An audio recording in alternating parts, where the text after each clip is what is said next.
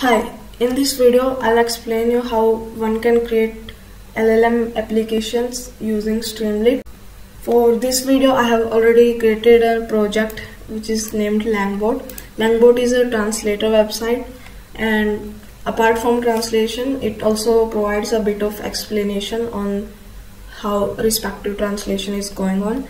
So let me quickly show you a demo so let's say I want to translate to French and I'll just pass some text here. Let's say hello how are you? And I pressed enter. It translated the sentence I passed here into French. And apart from translation it's also giving a brief explanation for each word or sentence that uh, could be super helpful for the user now this kind of UI uh, you can see it's similar to the one that we have in ChatGPT or other AI tools. And I am able to make it look like it using the recent Streamlit chain methods that they added uh, that are chat message, chat input etc and apart from using uh, chat input I am also taking voice input here. And I am using Google speech recognition for detecting the voice input and translating it into the text. It's not necessary to uh, pass the English text here. We can use any language.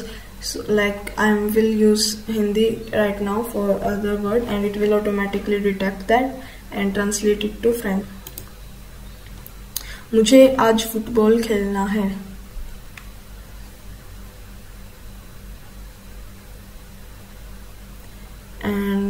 uh, sometimes this error message appears so I don't know why it's happening. Uh, but my uh, voice input was clearly translated. So this is what I said. It's Hindi text so Google speech recognition already detect what I'm saying.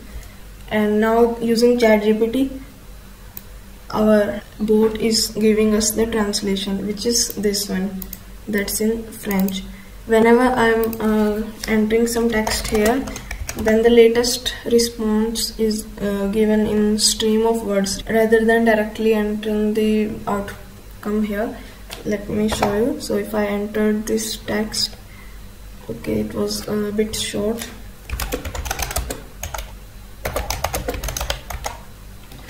If I press enter then you see uh, the words are getting printed one by one. That's only for the latest answer. So this feature is uh, you might have seen it in ChatGPT. So I added uh, this feature here also. And there is also uh, the send button which is not working as expected but let's see. If I press it here then it will give me uh, the output uh, twice. So we will have to do some changes here. I was trying it but couldn't like get the best solution yet. So I'll leave that up to you. And then we have our account page where once logged in we can visit the donate page and here anyone can show their support by clicking this donate button and stripe link will open this uh, donate page which is a stripe payment link is just uh, in the testing mode for now so that I can teach you how you can create your own Stripe page for donation or subscription or whatever you like for your app. Then uh, it's just the login ID and so the main aim of this project is to teach you how you can create an LLM application using Streamlit and for the account page few of you were having some doubts in the previous video for login that will be covered here. Let's begin with the coding part. I have opened my project in VS Code. Now I will create a new file for home page that's going to be home.py start with importing streamlit as st then we'll need to import OpenAI. After that we need to import speech recognition as SR then uh, we are going to create a list of uh, messages where we will append all the questions that are asked by user and also the responses given by ChatGPT. So create a list messages. And now um, I'm creating a function so that we can ask the answers from ChatGPT for the questions given by user. Ask question and question parameter which is the question asked by user. Uh, as we are going to append each question to the messages I will do messages dot append and instead of directly passing the adding the question it's better to add them in a dictionary format where one key would be role which is uh, user for adding the user's question and the content is equal to the question asked by user and this would also be beneficial when we are going to use st.chat message and there we can easily distinguish that it's a question asked by user or it's a response by our assistant. So uh, make sure to append like this. Then we are going to generate the response and for generating the response I will say response equal openai dot chat dot completions dot create.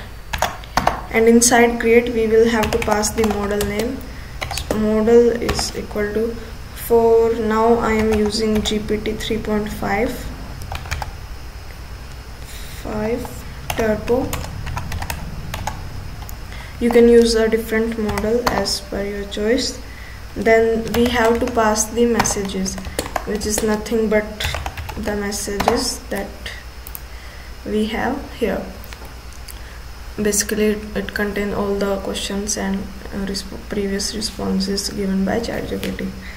Now if I uh, do print response then you will see that there are like multiple values that uh, will get printed but we are not interested in that we will just use the first uh, or the best choice given uh, in response by ChatGPT. And for that we have to uh, use so I will store the reply in this ChatGPT underscore reply variable and response dot choices. Out of all choices we are interested in first choice. So it's zero based indexing. That's why uh, zero then dot message dot content. This will uh, be our final response for this particular question. And we will see it here print chat reply. And our function will also return the reply so that we can display it. And uh, let's just append this response to the message list. So now role is of uh, assistant and the content is going to be our ChatGPT ChatGPT reply.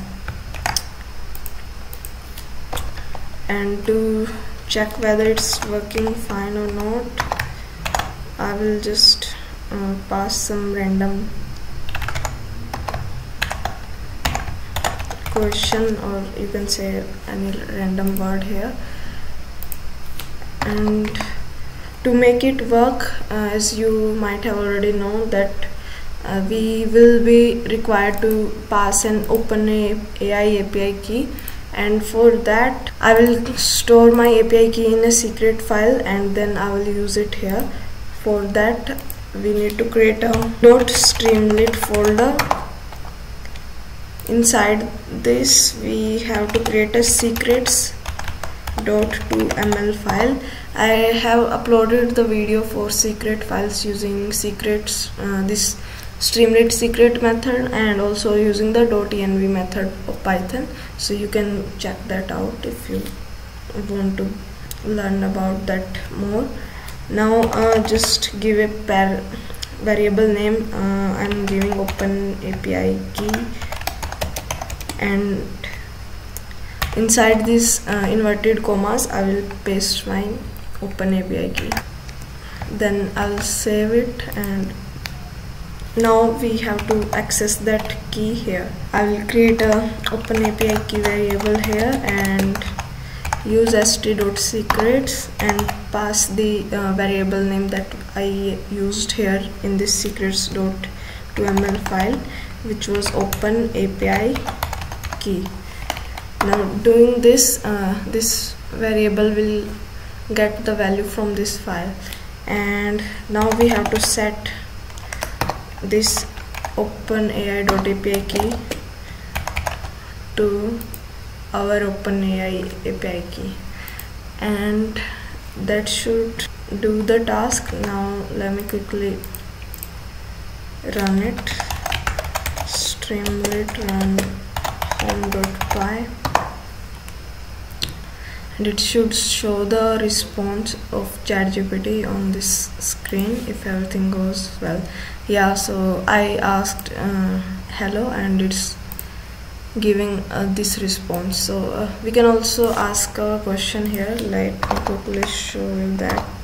So uh, the question is st dot text input um, ask here. And then instead of passing this hello we will pass our question itself. Save it. And if I say something then it should give me a response regarding to this question. Yeah it's working fine so uh, for now that's all for this video. In the next video I will show you how we will use chat methods of uh, Streamlit to create our website. And this is just a simple LLM application for now which is uh, taking some question from our user and giving some response. But uh, we will make it to work for a specific use case like uh, translation companion as for our project or you can uh, prompt it to work according to your use case. So that we will see in the later part.